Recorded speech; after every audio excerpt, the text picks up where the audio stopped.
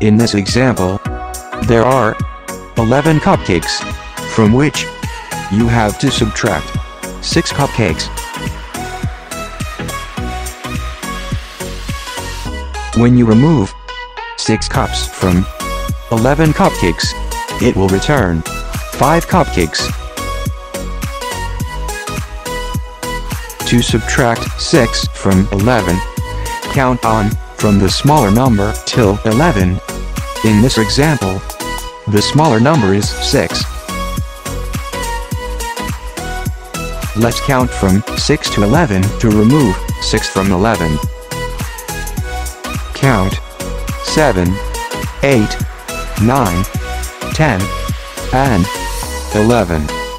You can see that there are only 5 numbers that are left. So, finally, 11 minus 6 is equal to 5.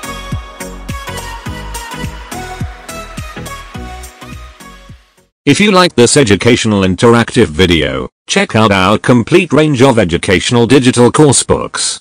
Visit our website, sfpublishers.net, to discover more.